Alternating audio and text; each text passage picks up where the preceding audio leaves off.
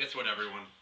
I bought a AC adapter for my camera, so I'm kind of excited because before I was just like recycling batteries like crazy, and I'm like, this is my first digital camera. My other cameras are, you know, I have these two uh, 1977 fully manual cameras with tons of lenses and tripods and all this junk.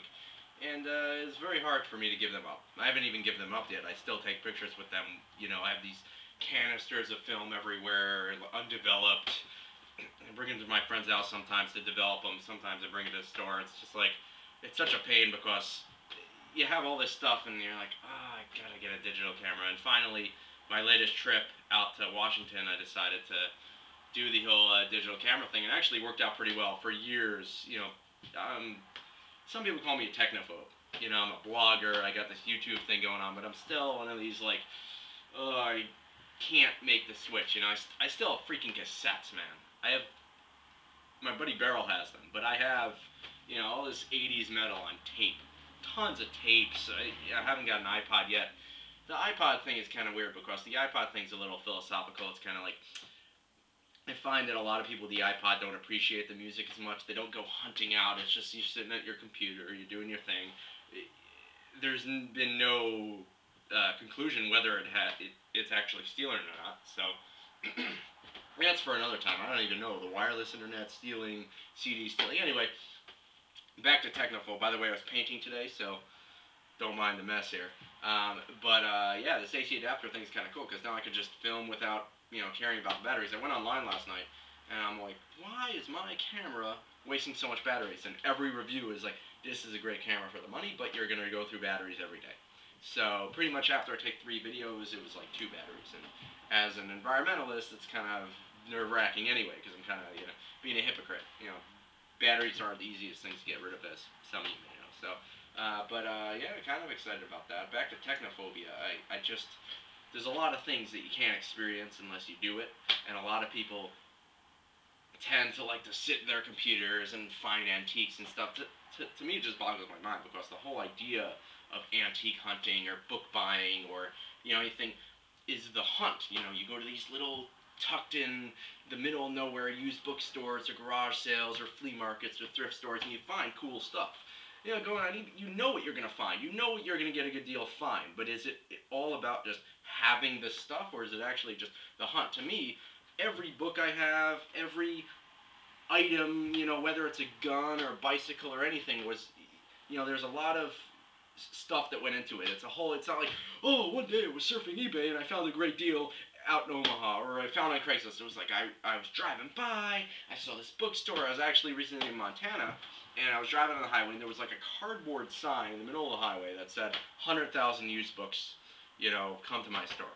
Oh, cool. So I, I was not going to stop. I was kind of in a rush to get to Spokane for Shabbos. So I was like, can't pass up good used bookstore. So I pull over, pass it once, pass it twice, and I get back. Oh, it's a house. Okay, it's a house. I mean, it was in the middle of nowhere. It was Montana Valley Used Books. It was on the Montana Idaho border, you know, middle of nowhere kind of thing. You know, it's coming from uh, Missoula. And I walk in, and it's just like you squeeze in, and there's cobwebs and dust, and it's the store is practically pitch black, and I'm trying to see the books. I'm getting a headache. It smells bad, but the smell bad is a good smell. You know, when you smell, smell is very powerful. I, you know, smells powerful. So I'm looking at these books. I'm like, excuse me, ma'am. Do you have a flashlight maybe or something I can She said, oh, to save energy, you know, just pull the strings. I pull the string. I'm like, oh, vayehi or let there be light. You know, it's like a great thing.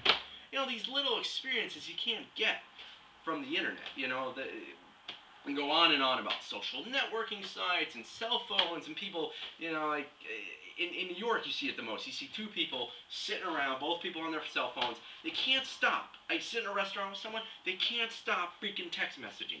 Concert. Concerts piss me off. Concerts, you're there to enjoy the music. It's a here and the now. Can it wait 10 minutes? No, it can't wait 10 minutes. You have to run outside and talk on the phone. There's always, you know, I, I, I personally keep my phone off a lot. It's on right now because it's the workday, but I'm one of those. You know, if I'm on vacation, I have a rule on my vacations. My road trips, if you want to come into my car, you can use your phone once a week. That's it. And people piss and moan about it, and then at the end of the trip, they thank me because they really experienced it. The whole point of the trip is to get away from reality, or you know, go and pursue things that you wouldn't normally pursue, and be talking on the phone and just constantly hawking around. You don't even need to talk to the people. Just I I feel like people are more sociable on the phone than they are in real life. You talk to people on the phone, it's all great. See them in real life, they're on the phone. You can't even get through to them. It's like the whole thing. I'm in, the, you know, I, I went to two movies in the last two years. I just saw Superbad and Into the Wild just recently, and the movie before that I saw was like Wedding Crashers or something, right? So I'm in the theater, and people pick up their phone in the theater. It's the new thing. I don't know if you've noticed this, but I people are picking up their phone in the theater. People on their Blackberries. People have these little, you know, I don't know what they're doing. You know, everyone's got some sort of electronic device. My phone's very old. It's cracked. You know, I didn't have a phone until two years ago. Actually, my dad forced me to get. He didn't force me to get a phone. I didn't have a phone. Stom. Period. No phone. And then he's like, you know, you need a phone. I was like, hey, if you're gonna pay for it, I'll take a phone, and he paid for it, so it was all good. So that was my experience with the phone. But it, you know, for the first year, I never really turned it on. I had like 8,000 rolled over minutes. It just kept adding up, and everyone's, dude, you got a cell phone now. You're supposed to talk to us.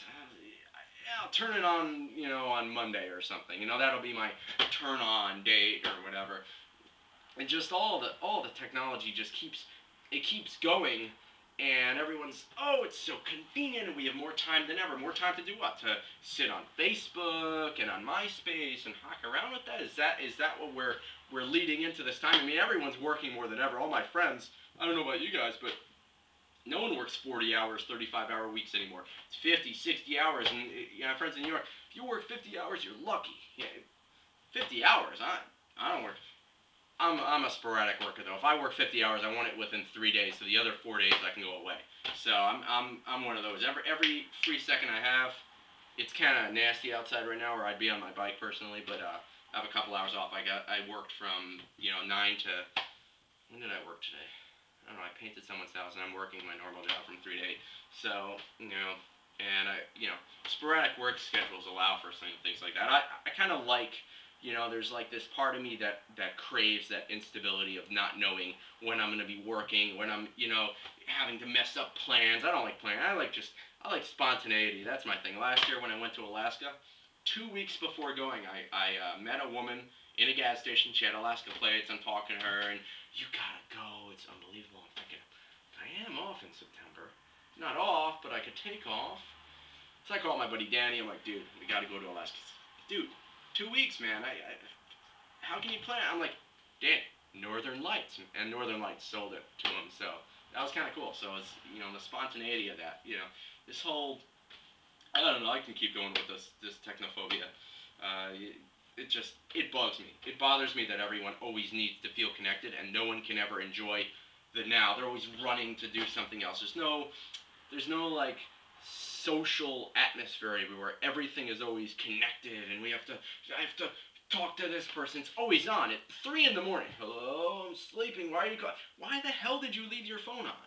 Why on earth would you leave your phone on? Shit off dates, forget about it. They talk on the, you know, the, these girls. One time I went out on a date, and the girl forgot her phone at home, and we were like 15 minutes away, and she's like, "Oh my god, I forgot my phone."